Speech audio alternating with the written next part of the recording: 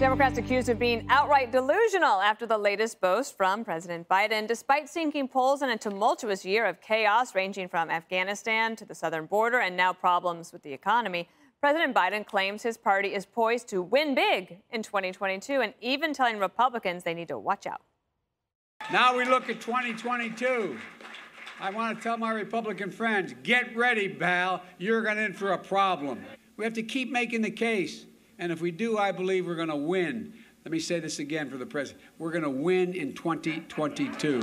As Democrats, we know what we're for, while Republicans don't seem to be for anything. Name me something they are for.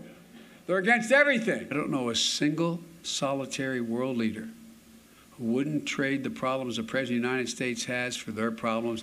I don't know a single one. And Not speak- one. And Speaker Nancy Pelosi is gushing over the job President Biden has been doing. They're blocking every effort to provide. It is an honor and, of course, a pleasure to be here at this time of challenge and with the coronavirus, financial insecurity for families, natural disasters, and more. Our country could not be more, could not be better served than with this most experienced, capable hands than yours, President Biden. He's just perfect. The timing couldn't be better. And Madam Vice President, we're inspired by your work for the people as you continue to be an invaluable partner to President Biden. So while the president and Speaker Pelosi are predicting big things, squad member Cori Bush is preemptively blaming Biden and moderate Democrats for potential losses. But that's super interesting. We're going to talk about all of this. Let me start with you, Jesse. They're going to say this no matter what. Right. Because they have to. Right. Uh, but do you get the sense that they believe it? Nope. Uh, when the donors are there, you have to say we're going to Yeah. win. Especially if you have all these Democrats. What are you going to say? You know what? I'm unpopular. There's high crime, high COVID cases. You guys are on your own this year. I'm Uh, old. Pass the eggnog, right? Like that's not going to fly. Deep on the police bellied up. Right. It's like it's like a pep rally. Like even if like the team is down four touchdowns in the fourth quarter, like there's still going to be pom poms. You got to you got to root for the team, and I understand that. But you can't blame Republicans. It's Sinema, it's Manchin, it's the squad. You know, it's the Blue Dogs. They're kind of slowing down his agenda. Why would the Republican Party? Strap their lassos to this train wreck. Look at this guy. He's unpopular. His policies are making everything worse. If he was popular and he was doing good things, you probably have maybe 10 to 15 Senate Democrats joining that agenda. But you're not going to see that, and that's clear. Nancy Pelosi, Mr. Perfect. I am old enough to remember when a couple Republicans were a little uh, praiseworthy of Donald Trump at a cabinet meeting, and it was like the media framed it as a bunch of suck ups to a dictator. Remember that whole thing? Mr. Perfect of all people. Now, I mean, that's you. I mean, right. I mean, we don't use that word lightly, but like only in politics do, do politicians just like go around and just kiss each other's butts. It's like, a, would we do that at this table? You are perfect, Right. Brian Kilmeade. Sarcastically. It is an honor. Yeah, yeah. Only We- sarcastically. We, are the king of sarcasm when it comes to compliments. I would. I'm sorry. Do you want? go to, ahead, oh, yeah, oh, sure. Is I forgot how it You may. I don't want to get it uh, in the post game uh, meeting. Which You've been up a on long for time. hours. Thank you. Uh, a couple of things. This is if they called Donald Trump perfect, if we would have laughed out. I mean, at this table because no one's perfect.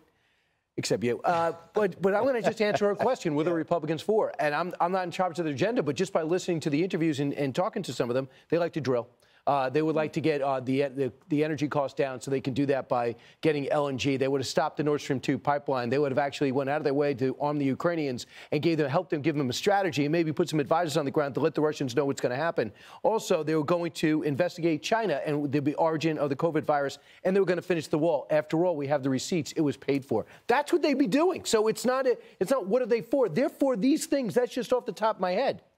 That was good for off the Yeah, top that- of your head. Can I was very good. pose a question though? So one of the things is that they've started to do is that the Build Back Better bill has been languishing for a while. It's not going to pass before Christmas, and now you have many Democrats who are saying, you know what, we should really work on the voting rights piece of our agenda. Yeah. So they're shelving Build Back Better already. So to me, that means like the longer this sits out there, the longer he might look like a lame duck president before he even gets to his first State of the Union address. Well, he, he is like a lame duck president because even the New York Times is writing an article about who should run for president, telling him not to run for president. Cori Bush, the uh, one of the squad members or one of the radical uh, congresswomen, is saying we're losing in 2022 because of you, Joe Yeah. Biden. And what we've got are all of these people who who already know that, that Joe Biden can't be the leader. He can't carry the Democrats. He kept talking about, I kept saying to myself, what is he saying? Why is he saying he's going to win? What he was saying was, we stand with the people. We've made historic progress. What does that We're going to make sure. That's exactly my point. Right. He says things that mean nothing. And yeah, Republicans are for nothing. Oh, well, we're for law and order to begin with. We're for the wall. We're for education. We're for people making a responsible salary. I mean, this guy is for all for inflation. And the bottom line is, yeah, I've been in politics. I ran five times. You really try to, you know, puff things up a little. But those people that he was talking to, even they don't believe it. Yeah. And Nancy Pelosi coming out and saying that she is inspired by Kamala Harris's work. That's a quote. What work? Well, I think does she's she have a still in- microscope, a I Hubble telescope to find in the work? Vietnam. I mean, Right. I don't know. Did she come back from Vietnam, sure. Kamala know. Harris? I mean, it's all it's all nonsense, all smoke and mirrors, and they're losing. And the, Geraldo, the, the generic ballot, the congressional ballot, has Republicans at a historic high. Like they've not ever seen numbers like this. So if you are a Republican, you should run in Vermont this year. You, you never know. Republicans could win everywhere. But to me, I didn't take any of that rhetoric seriously. To me, it was all, you know, kind of flamboyant irony.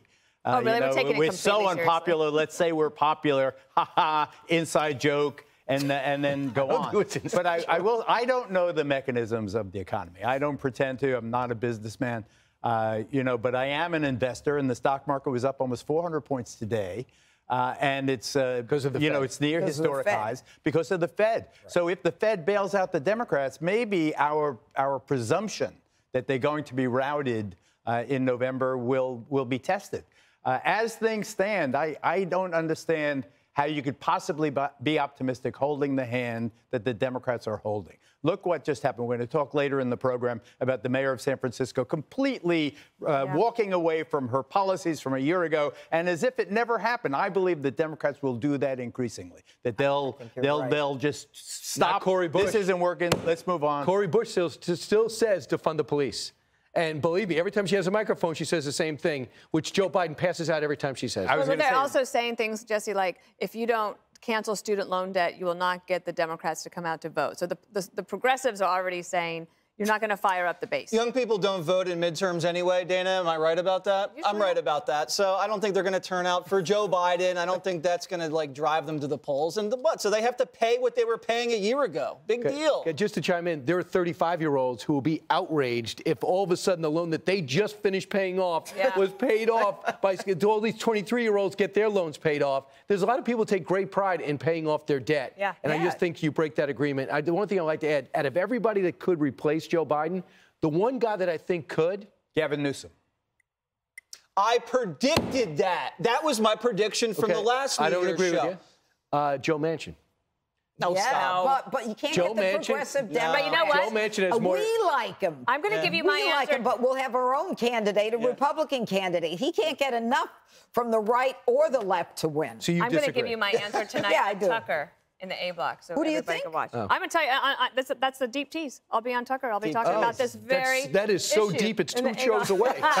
Hey, Sean Hannity here. Hey, click here to subscribe to Fox News YouTube page and catch our hottest interviews and most compelling analysis. You will not get it anywhere else.